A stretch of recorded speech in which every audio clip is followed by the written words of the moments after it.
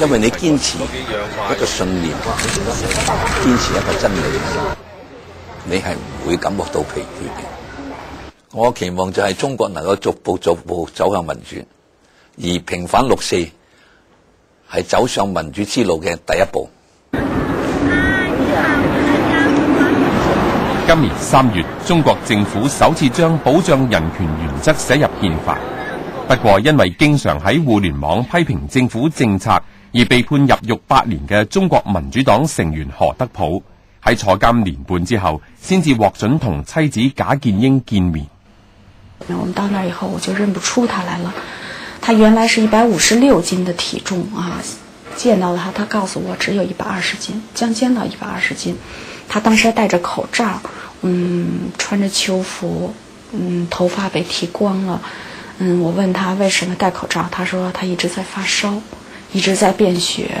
嗯，他在监狱里边这一年半的时间被毒打了两次。嗯，他说我被打聋了，听不见了这个左耳朵。嗯，何德普妈妈连街古稀，患有心脏病同高血压。自从何德普被捕之后，佢一直冇见过个仔。原来我何德普走的时候，我妈那头发没这么白。一下子全白了，那头发。嗯。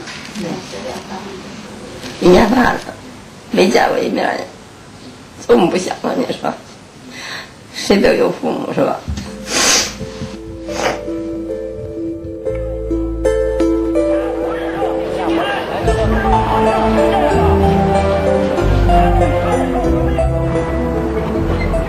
赵文权曾经喺八九民运初期参与过绝食。当年系北大政治系学生，不过佢今日再回顾呢段历史，已经有不同嘅体会。中国这种，呃，相对强有力的这个中央政府的这种治理的话，在过去二十多年中国经济发展过程之中，应该说这种力量，它也起到了非常有力的作用。呃，其实没有一种政治体制说一定是最好。就是说，他就什么毛病都没有。对，任何的体制都是有利有弊的。关键还是刚才那个问题，就是如何选择一种对中国有利的一种，就适合中国自己特点的一种政治制度。那么，这种政治制度到底是什么？他们明天有个游行，你有什么东西想讲？想跟香港朋友讲？而且，我想问一下王丹，你到底有没有收那个台独的钱？那我可以向你保证说，我们完全没有拿台湾情报机机关的任何一分钱。那信不信？当时在你，人哋讲啲乜嘢呢？唔知你会嘅，加上呢，你更加呢，要要要保重自己嘅身体。想呃，鼓励一下你，然后之呃说一真的说一声很敬重你，因为就是希望你能够为这个国家、为这个民族做出更大的贡献。我想推翻共产党从来不是我的目的，从八九年就不是，到今天也不是。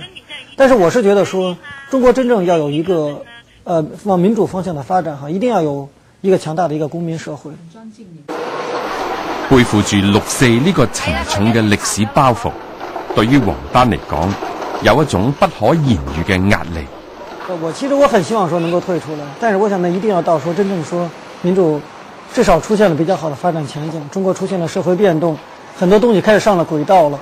现在没有太多的人来做嘛，那更需要少数的人能够坚持住。我想我们所做的就是一个铺路石的工作嘛，就是在没有人的时候，你只要能坚持住，留住这个火种。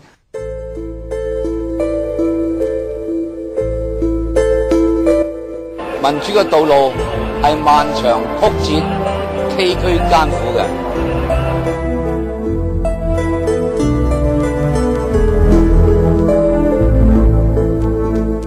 建设一个民主嘅中国，我哋要一代一代咁样薪火相传，努力落去。